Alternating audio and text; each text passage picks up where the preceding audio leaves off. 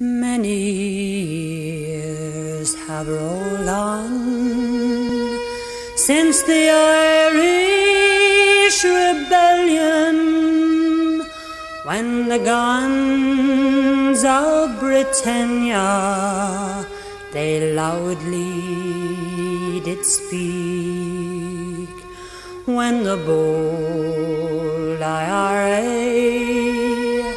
battled shoulder to shoulder, while the blood from their bodies flowed down Sackville Street.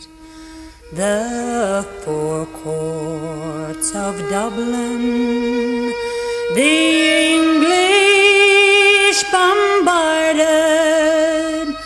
our spirit of freedom. They tried hard to quell, but amid all the din came a voice, no surrender. 'Twas the voice of James Connolly, the Irish rebel. A great crowd has gathered outside of Kilmainham with heads all uncovered. They knelt on the ground. Far inside that grim building true Irish soldier, his life for his country about to lay down. He went to his death like a true son of Ireland, the firing party he bravely did face.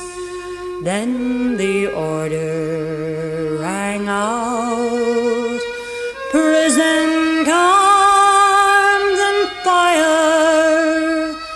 James Connolly fell into a ready-made grave.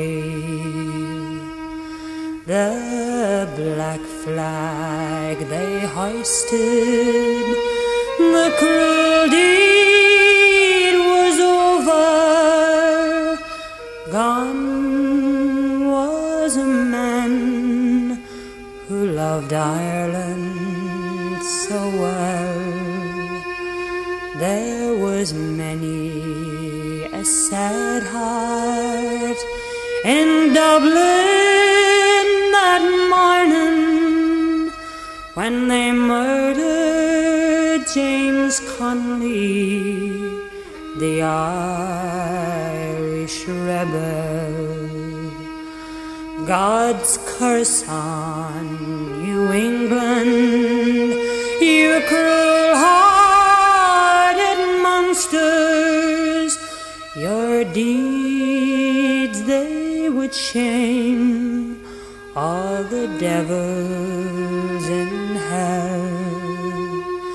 There are no flowers blooming, but the shamrock it's still growing on the grave of James Connolly